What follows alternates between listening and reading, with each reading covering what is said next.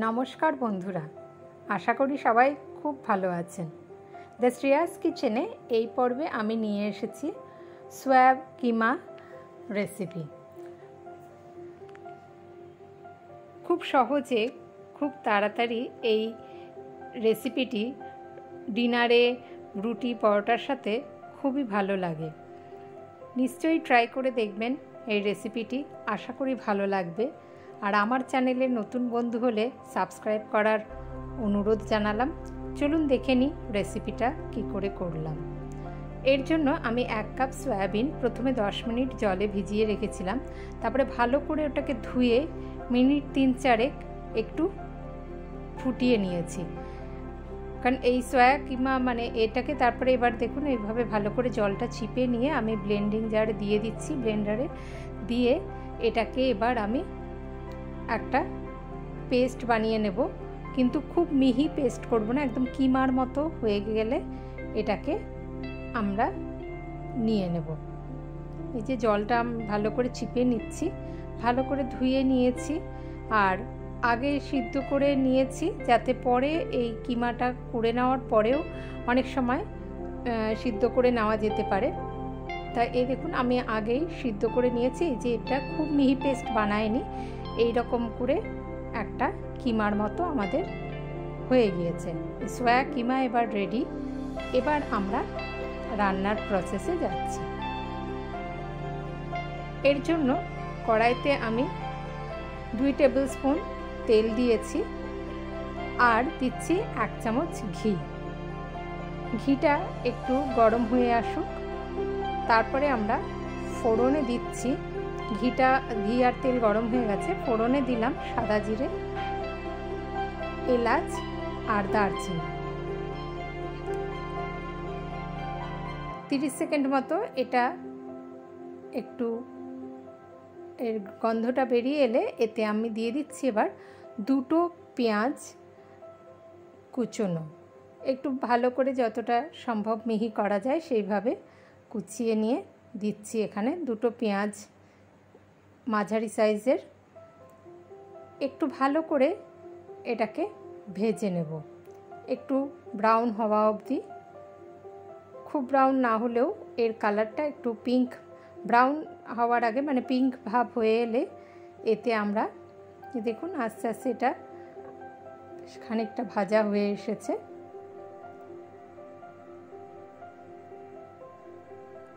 এবারে এতে দিয়ে দেব আমি দু চামচ আদা রসুন বাটা।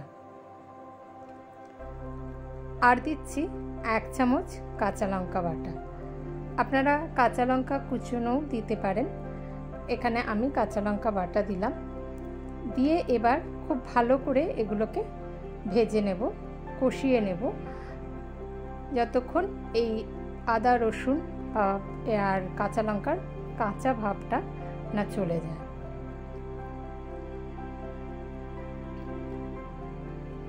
খুব ভালো করে ভাজা হয়ে এলে এতে আমি দিয়ে দিচ্ছি একটা টমেটো কুচি।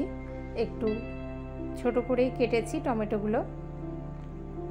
টমেটো পিউরি এখানে ব্যবহার করলাম না, বা টমেটো বাটা দিলাম না। এখানে এই টমেটোটা একটু ভালো করে মিহি করে কুচুপ করে দিয়েছি।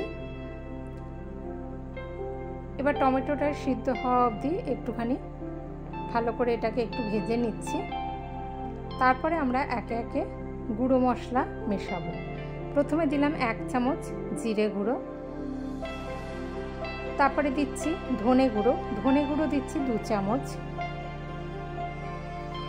হলুদ গুঁড়ো দেব হাফ চামচ। আর দিচ্ছি কাশ্মীরি লঙ্কার গুঁড়ো।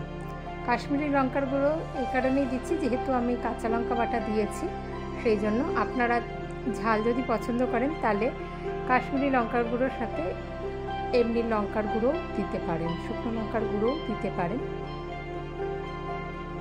নুনটা এখন দিচ্ছি না। নুনটা সোয়া কিমাগুলো মেলানোর পরে আন্দাজ মতো নুন দিয়ে দেব। এখন এই মশলা, গুঁড়ো মশলাগুলো ভালো করে কষিয়ে নিচ্ছি। দেখুন খুব ভালো করে কষে এসছে, তেল বেরোচ্ছে। এবারে এখানে দিয়ে দিলাম ফ্যাটানো দই। ফ্যাটানো দই দিয়ে এটা এখানে দু চামচ, দুই টেবিল স্পুন মতো হবে দইটা। ভালো করে দইটাকেও মশলার সাথে কষিয়ে নিচ্ছি। দেখুন, তেল ছাড়তে শুরু করেছে। খুব ভালো করে সমস্ত মশলা কষে গিয়েছে। যে তেল ছাড়তে শুরু করেছে, মশলা আমাদের খুব ভালো করে কষানো হয়ে গিয়েছে। এবার যে আমাদের সয়া কিমাটা রেখেছি, সেটা আমরা মিশিয়ে দেব।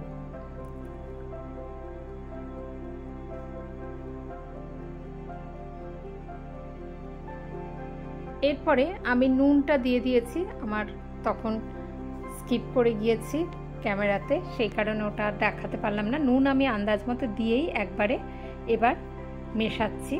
খুব ভালো করে মশলার সাথে সয়া কিমাটা মিশিয়ে নিয়ে দু তিন মিনিট এটা মিডিয়াম ফ্লেমে রান্না করে নেব। খুব ভালো করে আগে মিশিয়ে দিয়েছি, এবার দু তিন মিনিট এইভাবে আমরা মিডিয়াম ফ্লেমে রেখে দেব।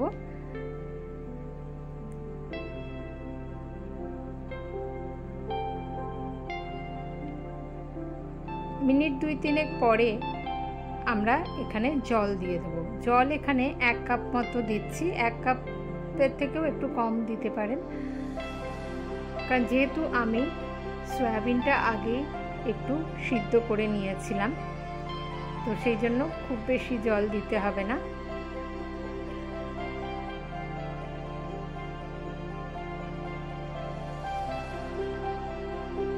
খুব সহজে আর খুব তাড়াতাড়ি এই রেসিপিটি তৈরি হয়ে যায়। এবারে দেখুন, ঢাকা দিয়ে মিনিট পাঁচেক আমরা হাই ফ্লেমে এটাকে রান্না করে নেব। যেহেতু জল দেওয়া আছে, অসুবিধা নেই, এটা নিচে লাগবে না। এবার ঢাকা খুলে দিলাম।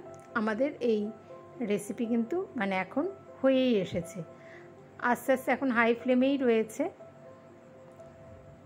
সব মশলা ভালো করে মিশে গিয়েছে। এবারে একটু দিচ্ছি চেরা, কাঁচা লঙ্কা দিয়ে দিলাম দুটো। আর একটু এই জুলিয়ান করে রাখা কাটা আদা দিয়ে দিচ্ছি। এটা পরেও দিতে পারেন, এখানেও এখন দিলেও এর দিয়ে আবার ভালো করে একটু রান্না করে নেব, এতে এর গন্ধটা ভালো আসে।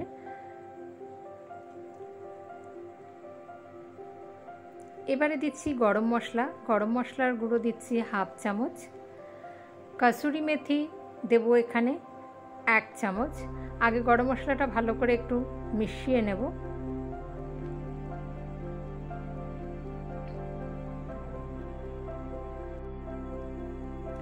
গরম মশলাটা খুব ভালো করে মিশিয়ে নিয়ে তারপরে দিয়ে দিচ্ছি কাসুরি মেথি। কাসুরি মেথি দিলাম এক চামচ মতো। হাতে একটু ঘষে নিয়ে দিয়ে দিচ্ছি। ডিনারে রুটির সাথে বা পরোটার সাথে এই রেসিপিটি সত্যি খুব ভালো লাগে এবার খুব তাড়াতাড়ি তৈরি হয়ে যায়। ধনে পাতা কুচি দিয়ে দিলাম কিছুটা। দিয়ে এবারে আমাদের এই রান্না গরম গরম সার্ভ করবার জন্য রেডি হয়ে গেল। পরে চাইলে আরেকটু ঘি দিতে পারেন।